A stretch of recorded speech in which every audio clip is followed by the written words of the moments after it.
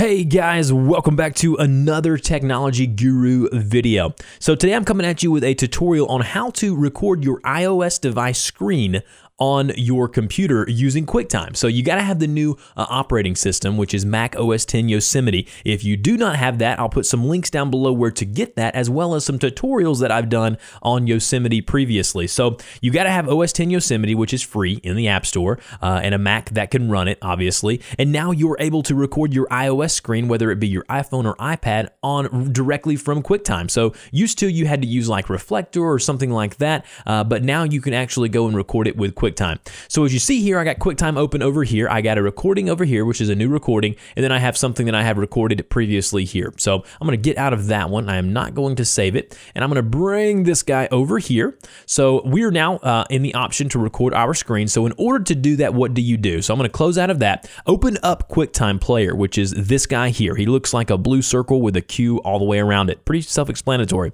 Once you've opened that application, you then want to make sure your iOS device is plugged into your Mac. So make sure your iPhone or iPad is plugged into your Mac via USB. All right, so you want to make sure that you have the QuickTime player opened up by clicking on the icon there in your dock and then go up to File and then you'll see something that says New Movie Recording. So it's not going to be screen recording, it's not going to be audio. I know it may seem like screen recording, but it's not going to be that, okay? So go to New Movie Recording. Once you've done that, you'll see yourself come up if you have a webcam or like I do, whatever it may be. And then we're going to drag this on down here and I'm going to show you how to uh, make sure your iOS device is going to be recorded. So in order to do that, click on the little down arrow here right next to the record button, and then you'll see your iPhone under camera there. So yours will say whatever you've called your iPhone or iPad, whatever it may be. Click on that, and then within a matter of seconds, you will then see your iOS device, and it'll probably open up iPhoto and iTunes and all that other good stuff too.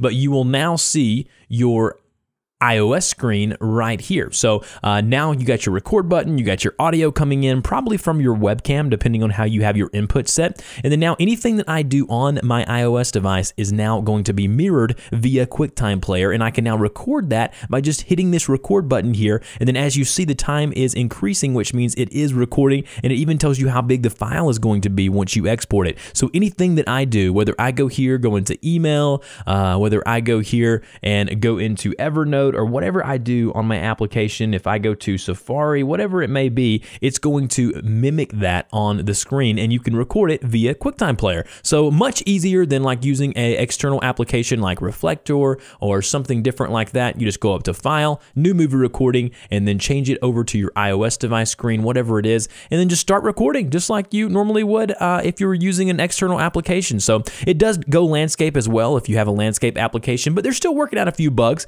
but that how you easily record your iOS device screen on your Mac by using a native app, uh, QuickTime Player, uh, within the new Mac OS 10 Yosemite. So go check it out. Uh, as always, guys, don't forget to visit my Patreon page and uh, support me uh, as I can continue to create content just like this for you guys, and you'll get some cool stuff from it too. Don't forget to hit that like button. Don't forget to subscribe. Don't forget to share it with your friends and family. And as always, guys, thank you so much for watching my videos, and I will see you in the next one.